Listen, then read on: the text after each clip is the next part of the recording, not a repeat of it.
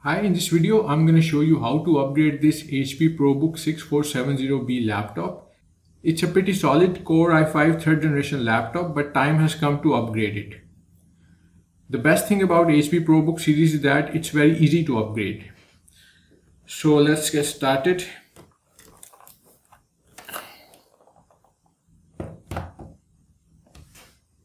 Now first step is to unlock these clips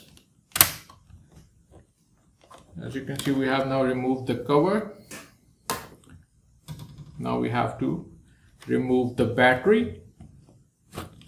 The battery is now removed. It has one 4 GB module in it so we have to add another 4 GB RAM in it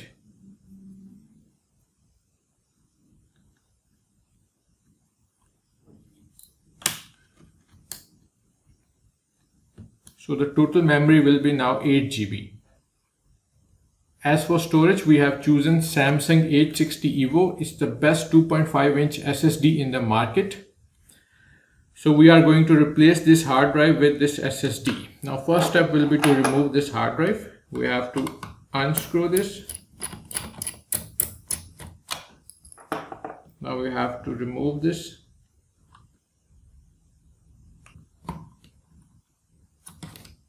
As you can see the hard drive is now removed. Now we have to remove it from the caddy. So we have to remove these screws.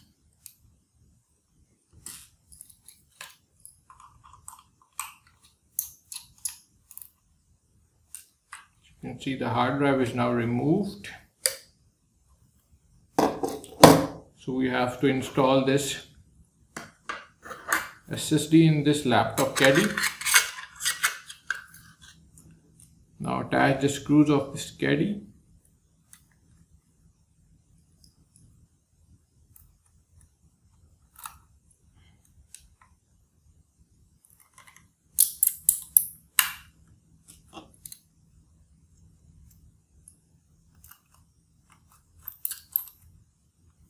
As you can see the hard drive is now properly fixed in the caddy.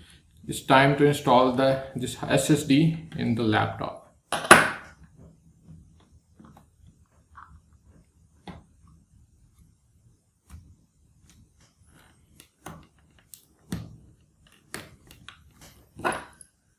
To tighten the screw.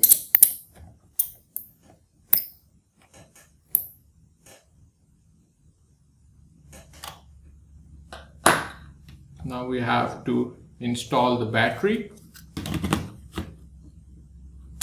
Battery is now installed. Now we have to put back the cover.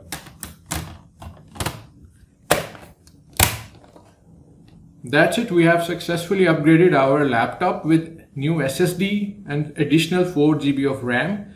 If you like the video, please hit the like button and do subscribe to my channel. Thank you.